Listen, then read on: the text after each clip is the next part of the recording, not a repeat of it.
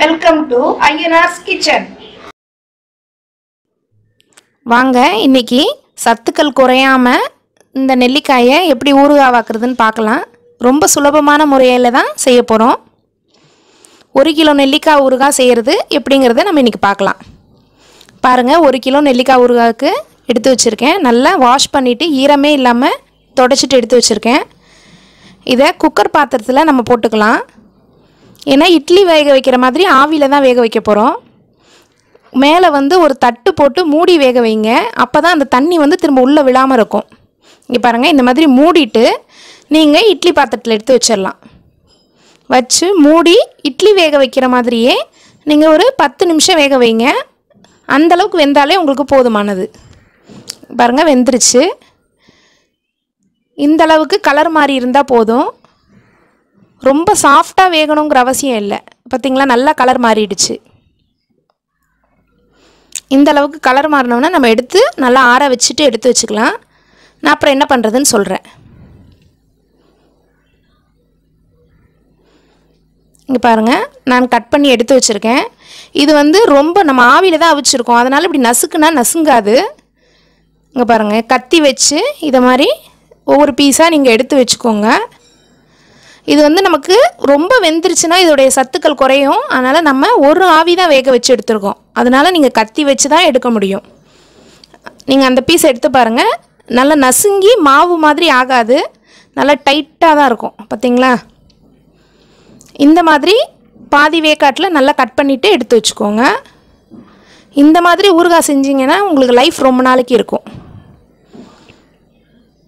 பாருங்கள் நான் நல்லெண்ணெய் எடுத்திருக்கேன். இதயம் நல்லெண்ணெய் தான் எடுத்திருக்கேன்.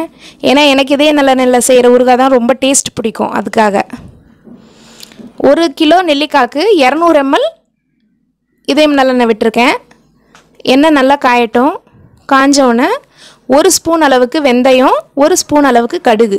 ரெண்டையுமே நல்லா எண்ணெயில் போட்டு நல்லா பொரிய விட்டுக்கணும். அது நல்லா பொரிஞ்ச உடனே பாருங்கள் நல்லா பொரிஞ்சிருச்சு. பத்து பச்சை மிளகாய் எடுத்திருக்கேன். ஒரு கிலோ நெல்லிக்காய்க்கு பத்து பச்சை மிளகாய் கரெக்டாக இருக்கும். பாருங்கள் ரெண்டாக கீரி மட்டும்தான் விட்டுருக்கேன். ரொம்ப குட்டி குட்டியாக கட் பண்ணலை. இந்த பச்சை மிளகாய் இதில் சேர்த்து அந்த பச்சை கலர் போய் வெள்ளை கலராக மாறும். அந்தளவுக்கு நம்ம வதக்கிக்கணும். அப்போ தான் அந்த வாசனை வந்து ஊறுகாய் ஃபுல்லுமே உங்களுக்கு நல்லா ஸ்ப்ரெட் ஆகி நல்லா வாசனை தூக்கலாக இருக்கும். பாருங்கள் இந்த மாதிரி வெள்ளை கலர் ஆகிற அளவுக்கு வதக்கிக்கணும். அதுக்கப்புறமேட்டு கால் ஸ்பூன் மஞ்சத்தூள் கால் ஸ்பூன் பெருங்காயத்தூள். ரெண்டையும் எண்ணெயில் போட்டு நல்லா பொரிய விடணும். இங்கே பாருங்கள் நிற அப்படியே நொ நொற மாதிரி வருது பார்த்தீங்களா இந்த மாதிரி பொரிஞ்சதுனா தான் வாசனை நல்லாயிருக்கும் நல்லா பொரிஞ்ச கட் பண்ணி வச்சுருக்கேன் நெல்லிக்காவை அதில் கொட்டிடலாம். கொட்டி நல்லா கலந்து விட்டுருங்க. இதில் வந்து நம்ம உப்பு சேர்க்கலை.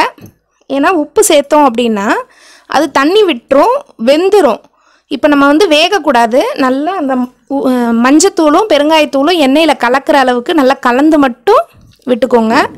பாருங்கள் ஃபுல்லாக நல்லா கலந்துட்டேன். இந்த அளவு கலந்துட்டு அடுப்பை ஆஃப் பண்ணிடுங்க ஆஃப் பண்ணதுக்கு அப்புறமேட்டு தான் நீங்கள் மற்றபடி உள்ள பொருளெல்லாம் சேர்க்கணும். ஆஃப் பண்ணிவிட்டு உப்பு சேர்க்குறேன். உப்பு வந்து கண்டிப்பாக தூள் உப்பு போடக்கூடாது. கல் உப்பு தான் போடணும். அது அயோடஸ்ட் சால்ட்டு போட்டிங்க அப்படின்னா ஊறுகாய் வந்து ஒரு நாலு ஆ- நாலு நாள் ஆனவுடனே உங்களுக்கு அப்படியே மாவு மாதிரி கரையும். அந்த மாதிரி கரையக்கூடாது. கல்லுப்பில் போட்டு ஊற தான் வைக்கணும். அதே மாதிரி ஐம்பது கிராம் மிளகாய்த்தூள் காஷ்மீரி ரெட் சில்லி போட்டிருக்கேன். ஒரு கிலோ நெல்லிக்காய்க்கு உங்களுக்கு ஐம்பது கிராம் மிளகாய்த்தூள் போட்டிங்கன்னா அந்த பத்து பச்சை மிளகாவும் இதுவும் காரம் கரெக்டாக இருக்கும். அஞ்சு எலுமிச்சம்பழத்தை புழிஞ்சு அந்த சாறு விட்டுருக்கேன். ஒரு சிலர் வினிகர் சேர்த்து ஊறுகாய் போடுவாங்க. வினிகர் சேர்க்கறதுனால சத்துக்கள் குறையும். ஆனால் நீங்கள் இந்த மாதிரி எலுமிச்சம்பழ சாறில் போட்டிங்கன்னா உங்களுக்கு அதோடைய சத்துக்கள் குறையாமல் இருக்கும். இதை நல்லா கலந்து விட்டுருங்க. கலந்து விட்டுட்டு நம்ம ஃபஸ்ட்டு இரநூறு எம்எல் நல்லெண்ணெய் விட்டோம் இல்லையா? இப்போ ஒரு ஐம்பது எம்எல் நல்லெண்ணெய் விடுவோம். ஆனால் இது காய்ச்சக்கூடாது. பச்சையாக அந்த நல்லெண்ணெயை அப்படியே மேலே ஊற்றிட்டு கலந்து மட்டும் வச்சுருங்க. அப்போ நீங்கள் ஒரு அஞ்சு நாளைக்கு நல்ல வெயிலில் வைக்கணும்னு அவசியம் இல்லை. வைக்க வச்சாலும் தப்பில்லை. ஆனால் கலந்து மட்டும் விடுங்க. ஒரு நாளைக்கு மூணு முறையிலேருந்து நாலு முறை கண்டிப்பாக கலந்து விடுங்க. கலந்து கலந்து விட விட இதிலருந்து நல்லா உப்பை உறிஞ்சி இந்த மாதிரி எண்ணெய் ஃபுல்லாக மேலே பிரிஞ்சு வந்துடும் அதுதான் உங்களுக்கு பக்குவம். எண்ணெய் பிரிஞ்சு மேலே வந்துருச்சு அப்படின்னா அதுக்கப்புறம் உங்களுக்கு ஊறுகாய் கெடவே கிடாது. பாருங்கள் சுவையாக சத்துக்கள் குறையாமல் சூப்பரான நெல்லிக்காய் ஊறுகாய் ரெடி